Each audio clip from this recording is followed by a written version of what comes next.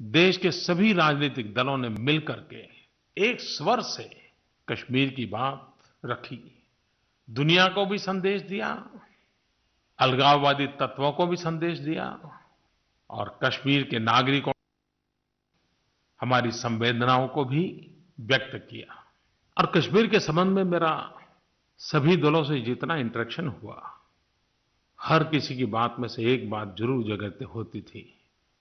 अगर उसको मैंने कम शब्दों में समेटना तो मैं कहूँगा कि एकता और ममता, ये दो बातें मूल मंत्र में रही। और हम सभी का मत है सवा सौ करोड़ देशवासियों का मत है, गाँव के प्रधान से लेकर के प्रधानमंत्री तक का मत है।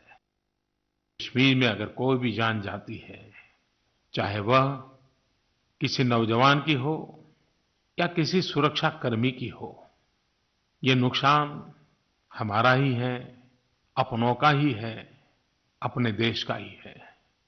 जो लोग इन छोटे-छोटे बालकों को आगे करके कश्मीर में अशांति पैदा करने का प्रयास कर रहे हैं, कभी न कभी उनको इन निर्दोष बालकों को भी जवाब देना पड़ेगा।